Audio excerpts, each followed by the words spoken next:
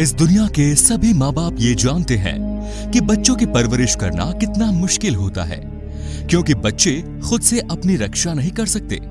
इसीलिए बच्चों को बड़े होने तक एक माँ अपने बच्चे का बहुत अच्छी तरह से ध्यान रखती है।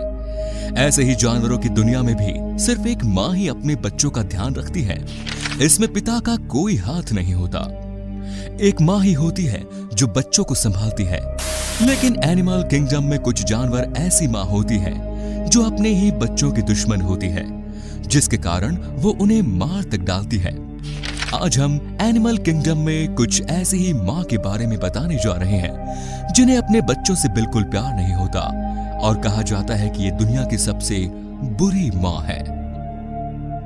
Number one is red crab ये केकड़े की एक ऐसी प्रजाति है जो क्रिसमस आइलैंड में पाए जाते हैं। और ये केकड़े लाल रंग के होते हैं, जो अंडे देने के लिए समुद्र के किनारे जाते हैं और अंडे देकर वापस आइलैंड लौट आते हैं। आपको बता दें कि ये कैकड़े एक समय में बहुत ज़्यादा मात्रा में अंडे देते हैं और साल में एक बार प्रजनन करते हैं। करीब साल भर के बाद अंडों से बच्चे निकलते हैं और ये बच्चे धीरे धीरे आइलैंड पर लौटने लगते हैं। हर साल ये प्रोसेस चलता रहता है। लेकिन ये अंडे से निकले हुए बच्चे जब आइलैंड पर पहुँचते हैं तो इनके पेरेंट्स कैकड़े अपने ही बच्चों को खाना शुरू कर देते हैं। करोड़ों की संख्या में जन्मे इन छोटे बच्चों को अपने ही माँ बाप द्वारा खा लिया जाना इसका क्या कारण है? इसका पता आज तक वैज्ञानिक भी नहीं लगा पाए हैं। Next is panda. Animal kingdom में पांडा सबसे खूबसूरत जानवरों में से एक है। ये बहुत ही क्यूट और प्यारे होते हैं। शायद ही कोई ऐसा होगा जिसे पांडा पसंद नहीं होगा।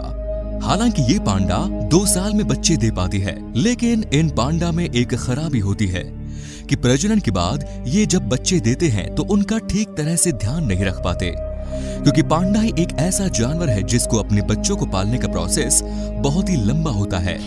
उन्हें अपने बच्चों पर बहुत ध्यान देना होता है। यही कारण है कि जब भी किसी मादा पांडा के ट्विंस बच्चे होते हैं तो वो दोनों में से एक को ही अपनाती है और दूसरे को ऐसे ही छोड़ देती है। और इसी कारण पांडा के ये बच्चे मर भी जाते हैं। सभी तरह की पांडा को भी कुछ समय तक अपने माँ के प्यार और देखभाल की ज़रूरत होती है। इसीलिए पांडा की जनसंख्या बहुत कम है। पांडा के बच्चों को ज़िंदा रखने के लिए वैज्ञानिकों द्वारा एक हल निकाला गया है।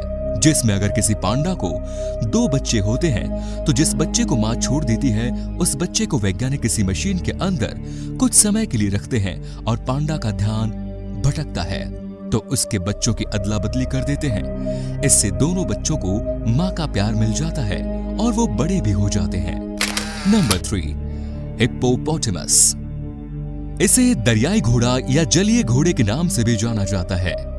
ये अफ्रीका की नदियों और झीलों के किनारे रहता है।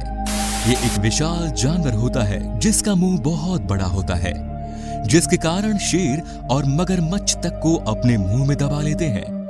ये इतने खतरनाक होते हैं कि अपने ही बच्चे को अपना शिकार बना लेते हैं। मादा हिप्पोपोटेमस जब बच्चे को जन्म देती है, उसके बाद उसके आसपास रहने वाले नर हिप्पोपोटेमस उस बच्चे का शिकार कर लेते हैं।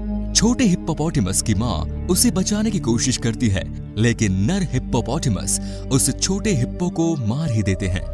उसको मार देने के बाद उसके बचे हुए शव को वो घूमने वाले मगरमच्छ खा जाते हैं।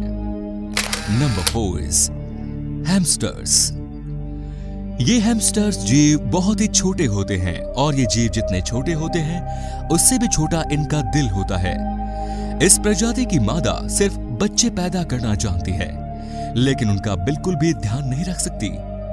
हालाँकि ये जीव दिखने में बहुत ही प्यारे होते हैं, लेकिन जब ये मादा बच्चे देती है, उसके बाद बहुत ही क्रूर हो जाती है और एक निर्दयी माँ कहलाती है। दरअसल हैमस्टर्स माँ अक्सर अपने ही बच्चों को भोजन के रूप में ग्रहण कर लेती है। हालाँकि ये अपने सभी बच्चों को नहीं खाती, लेकिन उनमें से एक का शिकार ज़रूर करती है। वैज्ञानिकों का मानना है कि ये जीव आकार में बहुत ही छोटे होते हैं, जिसके कारण इस जीव में उतनी ताकत नहीं होती कि अपने बच्चों को पाल सके। ऐसे में ये सिर्फ़ अपनी जिम्मेदारियों से बचने के लिए अपने ही बच्चे को मारकर खा जाती है और ढककर भी नहीं लेती। इन बच्चों को खाने से हैमस्टर्स को भारी मात्रा में प्रोटीन मिलता है, जिसे वो अपने दूसरे बच्चे को पालने में इस्तेमाल करती हैं। Number five stork bird stork पक्षी सारस की एक प्रजाति है। सारस प्राय मछली, कीड़े, कैचुए को खाते हैं। लेकिन ये स्टॉक बर्ड अपने ही घोंसले से अपने बच्चे को गिरा देते हैं। ऊंचाई में घोंसला होने के कारण जब इन पक्षियों को इनकी माँ द्वारा नीचे गिराया जाता है तो ये बच नहीं पाते और मर जाते हैं। अब आप सोच रहे होंगे कि ये पक्षी अपने ही बच्चों को घोंसले से नीचे ज़मीन पर क्यों गिरा रही हैं? तो ऐसा इसलिए नहीं क्योंकि इसे अपने बच्चे से प्यार नहीं, बल्कि इनका मानना यह है कि जितने कम बच्चे होंगे, ये उतने ही बच्चे से उनका पालन पोषण अच्छे से कर सकेंगे। इसीलिए बच्चों की ज़्यादा संख्या होने पर ये सबसे कमज़ोर बच्चों को घोंसले से नीचे गिरा देती है। And last number six cuckoo bird. पक्षियों की दुनिया में सबसे चालाक पक्षी में से एक है ये।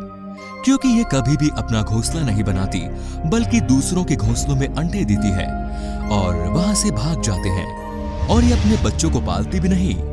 इसके बच्चे जिस घोंसले पर ये अंडे देती है, वहाँ के पक्षी के जैसे व्यवहार दिखाते हैं, क्योंकि जिस पक्षी के घोंसले में रहते हैं, उन पक्षियों द्वारा इनका पोषण किया जाता है। और जब ये कुक्कू बर्ड के अंडे दूसरे बर्ड के घोंसले पर विकसित होने लगते हैं तो दूसरे बर्ड के अंडों को घोंसले से बाहर फेंकने का प्रयास करते हैं और धीरे धीरे सभी अंडों को बाहर फेंक देते हैं और ये अकेले ही घोंसलों में रहते हैं। तो दोस्तों, ये था आज का वीडियो। ये वीडियो आपको कैसा लगा? अगर ये वीडियो आपको पसंद आया हो तो प्लीज़ लाइक कीजिए, शेयर कीजिए और कॉमेंट्स कीजिए। धन्यवाद।